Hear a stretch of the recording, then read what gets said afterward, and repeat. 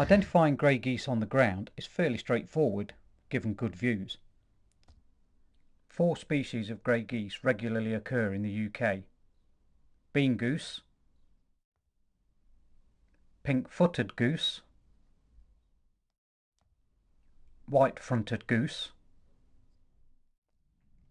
and greylag goose. With good views they can be quite easily separated from each other by a combination of bill and leg colour. The dark bill with extensive orange and the orange legs readily identified this bean goose.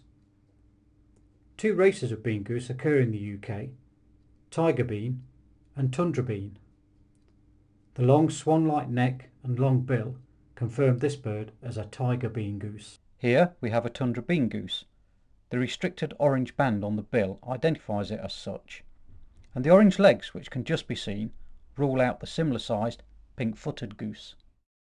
Bean goose is a rare winter visitor to Britain, but can be regularly found at two locations, the Yare Valley in Norfolk and the Slamanan Plateau near Falkirk. The rarer tundra bean goose can occur in small numbers almost anywhere. These pink-footed geese show the classic short stubby bills of this species, along with the narrow pink band and the pink legs that are unique to this small goose. The dark head and neck, contrasting with the pinkish breast, are also useful pointers. North Norfolk is one of the best places to catch up with pink-footed geese but they also occur in large numbers in Lancashire and parts of eastern Scotland, and flocks can often be seen flying across the country. The all pink bills, combined with the bright orange legs, identify these birds as European white-fronted geese. Only the adult birds show the blackish belly bands and white forehead. It is this that gives white-fronted goose its name. White-fronted goose also has a subspecies, the Greenland white-fronted goose. Identified by its orange beak, this is always pink on the European white-fronted goose. Regular wintering flocks of European white-fronted geese can be found in North Norfolk and Slimbridge in Gloucestershire, whilst Greenland white-fronted geese winter in southern Ireland, the Solway Firth and Islay.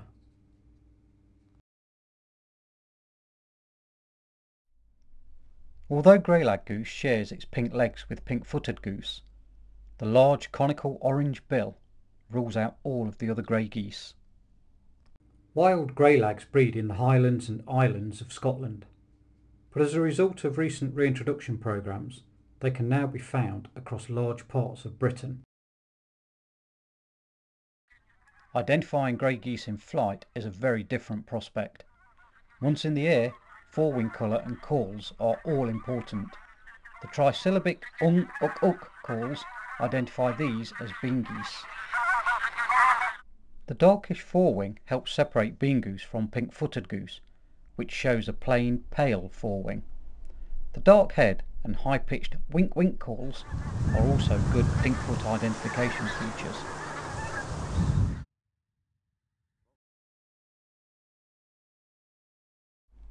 White-fronted geese show an obvious pale line through the centre of the wing, and the belly bars of the adult birds can often be seen. Note the pale wing bar on these white fronts that is absent on the single pink foot. The call has a high-pitched yelping, yapping quality.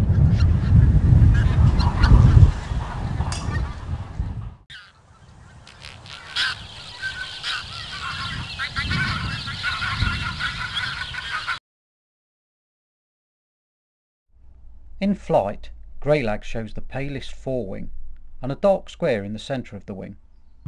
It is also the palest goose overall. The call is the classic farmyard goose honk.